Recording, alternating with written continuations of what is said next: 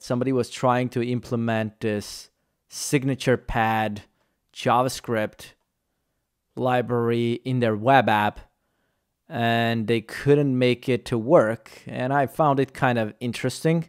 So I'm going to try to see if I can make this work in our web app.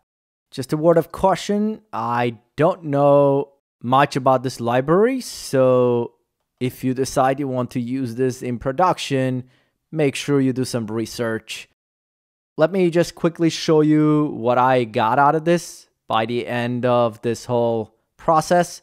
So if I open the web app, I basically have this. I have this area where we can actually do some signature. Then we have clear and send buttons. So here you can go and say something like hi and clear, and then it clears it. And basically we can also do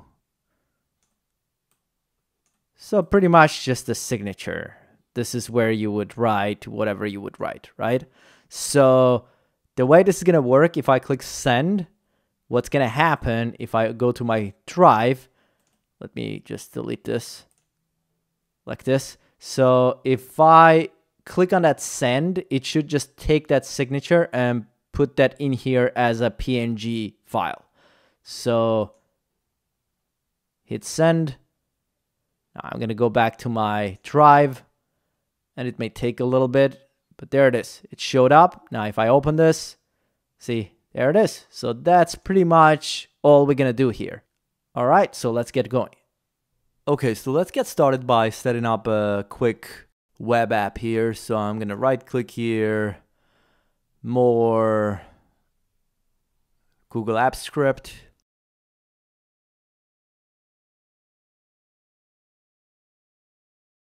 As usual, we just give it some sort of name. So there it is. So let's just uh, set up some Clasp project over this so I don't have to deal with this editor. So a new folder in here. Let's just drag that to Visual Studio Code.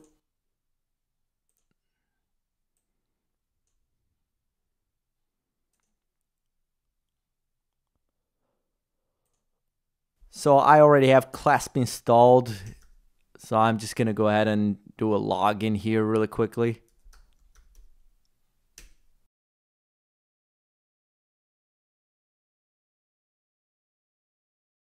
If you want to learn how to install Clasp and all of that, I have a separate video for that. I'm not going to go over that here. Let's go get the ID.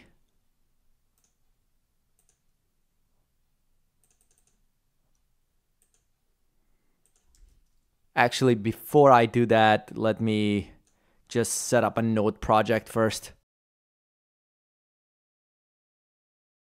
So that's our node init dash y. Oh, you know what? npm, not node.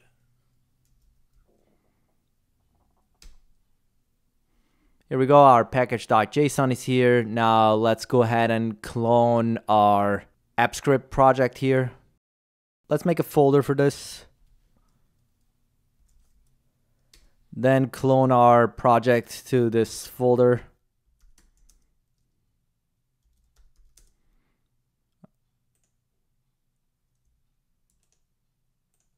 So that's our script.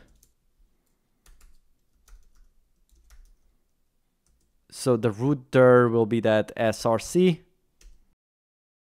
And we should have our files here. Good. So the project is set up. We have our files. Let's go ahead and do some HTML in here. And let's make sure our code.js loads a web app out of this index file.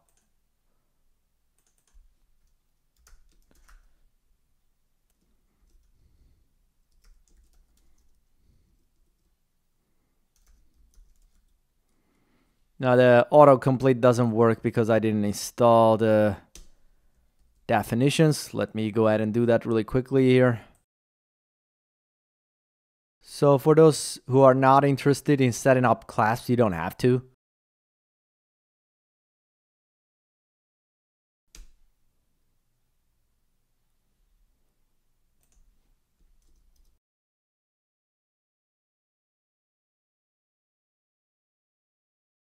Let's just return this.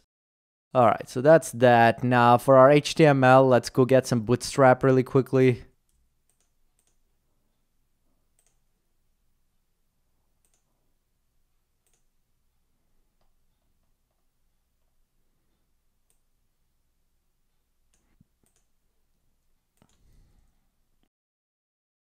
Now here, instead of h1, let's just do a div. And we'll give it an ID app. Now inside of this, let's do another div. And we'll do an ID for this too. So now let's go get their library. So I could do this, but I'm just going to keep this simple. I'll just grab their library here because this is primarily for testing. Let's just load this all the way down here. And just do another script down here. Now let's go get their docs. So basically we have the selector and what's this canvas? So I guess that it's supposed to be an HTML canvas tag. So I'll just copy some of this I don't think I need the rest. So let's just do this on load. So let's set up a function.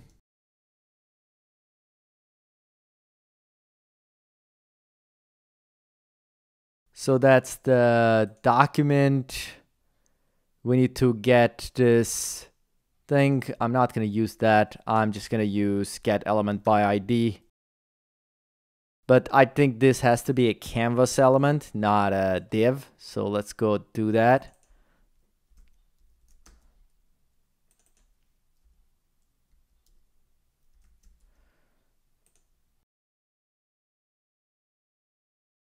So now we have that. Now we need to run this function.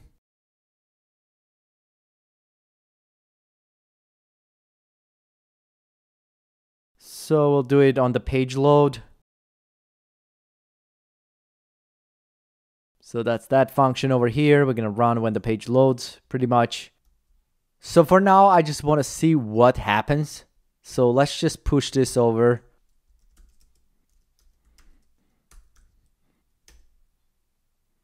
All right, so I'm going to set up the watch flag so it keeps pushing them to our project. So if I go back right now and take a look, what happened?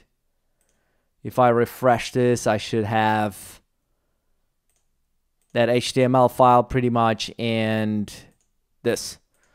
So let's just go ahead and deploy a web app so we can have a link.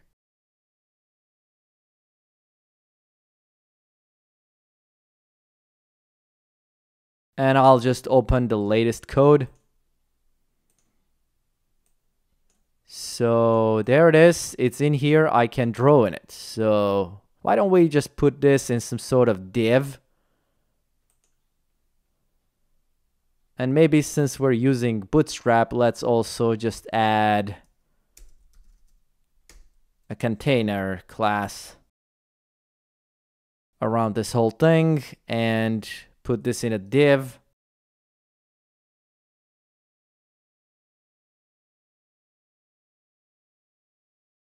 So this one will just do a panel class from Bootstrap. So I'm going to save this. Okay, so now we have, there it is. It's over here now. The panel class didn't go very well there. Let me go check the class for this and see what it's called now. I guess they now do a border or something. Yeah. Okay, so we'll call this border. I'm going to save this again. Let's go check out what this looks like. We have something, but it still goes up to here. It doesn't resize to the screen. So we'll have to check the sizing thing. So far, this is good. I want to add something that clears whatever we do here in the signature box. So we'll add a couple of buttons.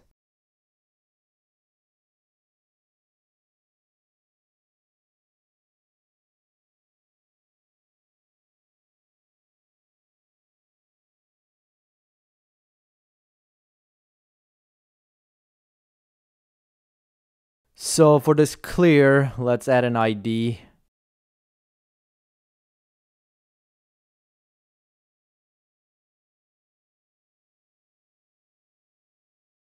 And we need to run a function when we click on that. So we'll set that up.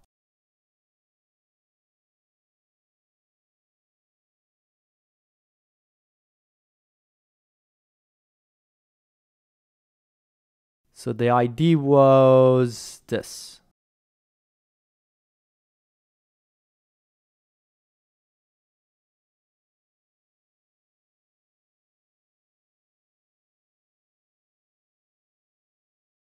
So basically when we click on that clear button, we want to run this function. Now that function is supposed to just clear the signature. So for that, let's just move this as a global. And remove the var from here. And then later we should be able to take that canvas and we have to go find what it was called. Well, I guess that's pretty simple, just clear. And not the canvas actually, we need to get the signature pad. So I have to fix that. So this is incorrect. Let's put this back and put this as a global. Remove the var. And then we're going to take that signature pad and we're going to clear that. Okay, let's go check if this works.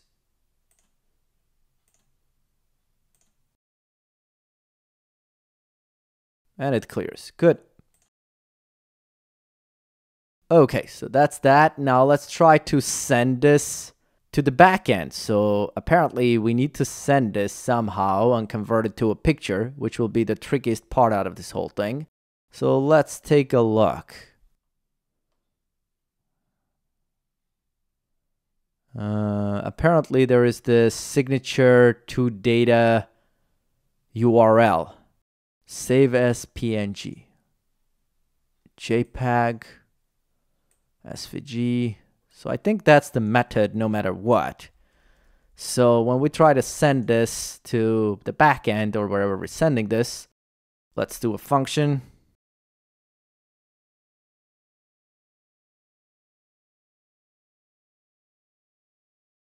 Let me just paste it here for a second from the docs. And let's just run this when we click on that other button. I think I gave it an ID send, if I'm not mistaken. Yep. So when we click on it, we're going to run this send to drive. Now I want to just console log this to see what this looks like.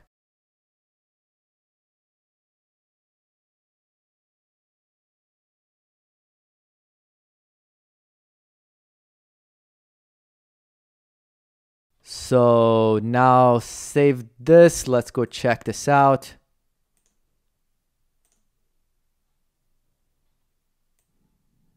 Now let's open the console. Clear all this stuff. Let's click send and see what happens.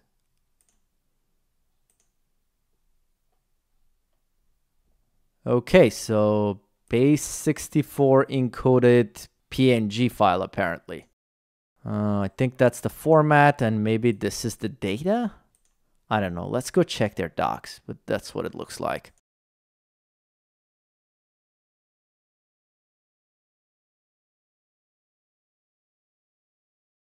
Uh, here's an example in Ruby.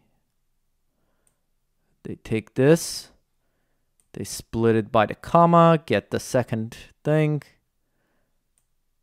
and base the code. Okay, yeah, exactly. So everything after the comma is basically the data itself. So we should be just sending this to the backend pretty much at this point. So let's go to our backend and create a function to get this information.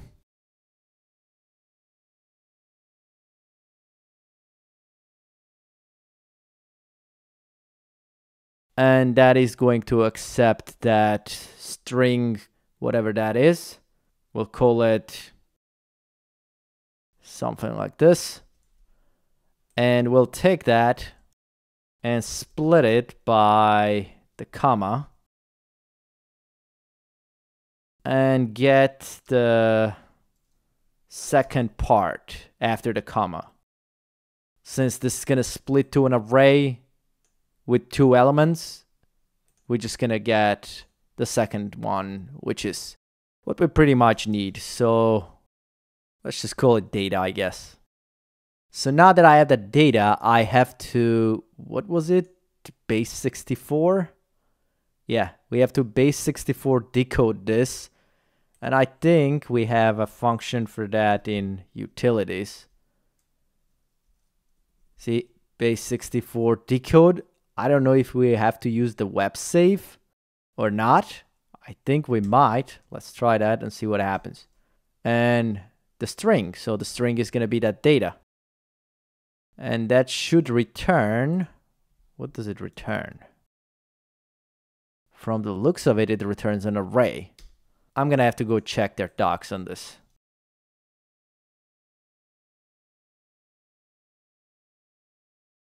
So here's our app scripts utilities base 64 decode. So it returns bytes. And then we have to create a blob out of it. All right, makes sense.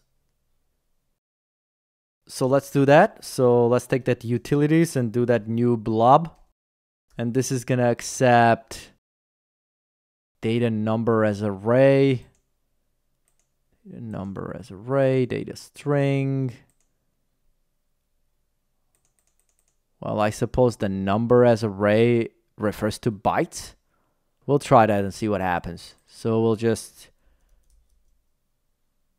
push this in here and then we'll get it as a picture.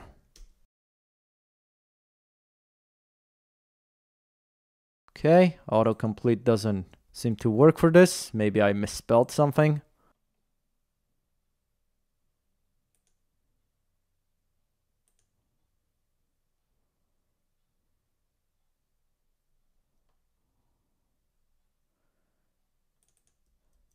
PNG it should be. So yeah, it doesn't do anything.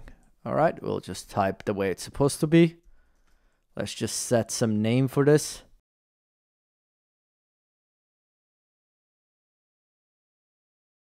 And that should now be, hopefully, a picture.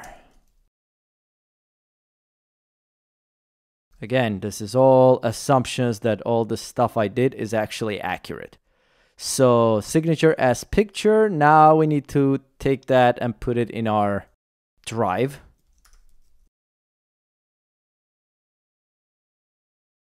So let me get some folder ID.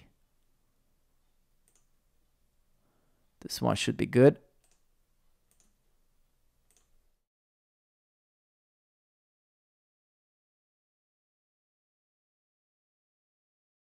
And we're going to create a file in here and pass our blob. I'm going to assume that's good. Now let's try to run this function in our front end to see if that works. So right here, we're going to run our backend function and we're going to send that image data to that. So I'm just going to save this. Let's see what happens. Let's go open our web app, reload this thing. Uh-oh, so something we didn't allow here. Let's refresh and go back and run something here so it does what it's supposed to do.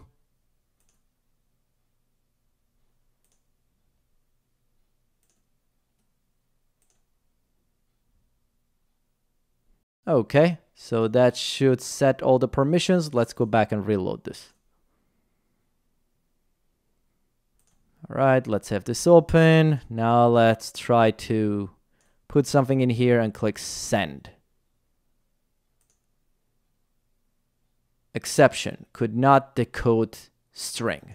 Okay. So not good news. So let's go back and check.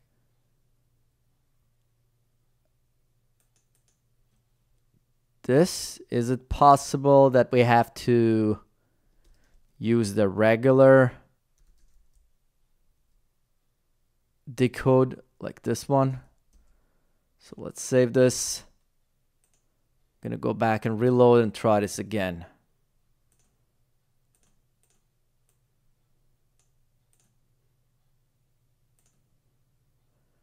Exception. Blob object must have non-null content type for this operation.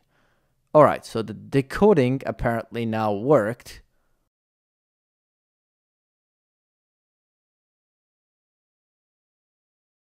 Let me try to log this out and see what happens.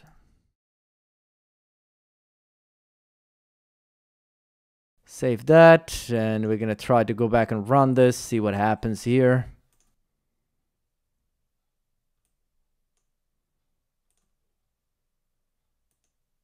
So no errors, which is not surprising. But let's go back and check our transcripts.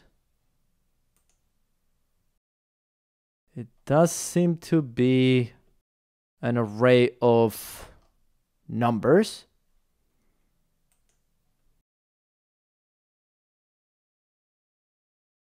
So let's take this part off for now. This should be the blob.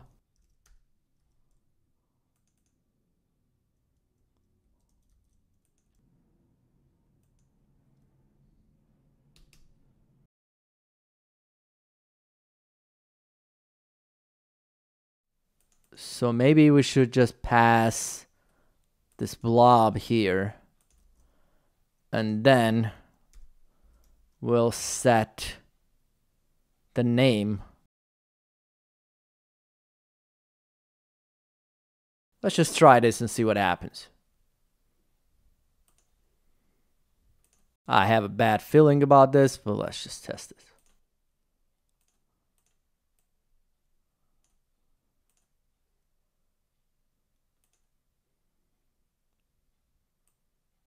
Must have non-null name for this operation. So I suppose we have to do the name here then.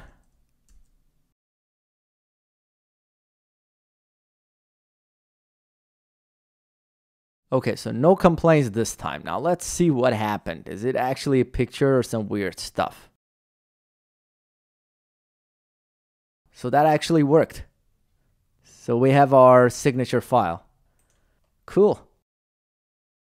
Here we are. Now I want to change the size of this if possible.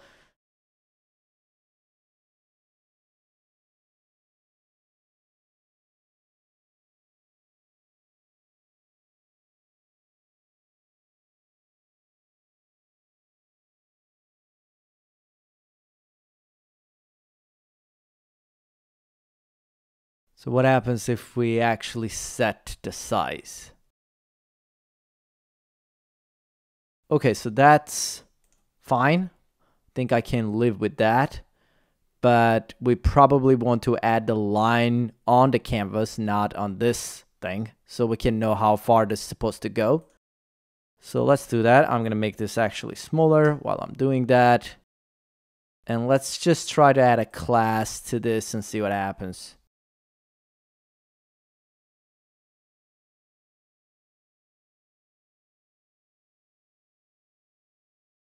We know where we're supposed to do the signature. We can clear.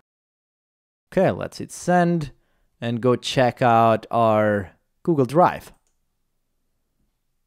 So far, nothing. Oh, I forgot I gave it the same name. There it is. That's my new signature.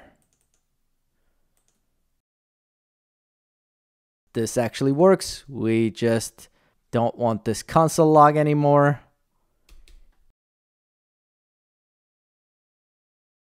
And that should do it. Thanks for watching. Please subscribe, and I'll see you in the next one.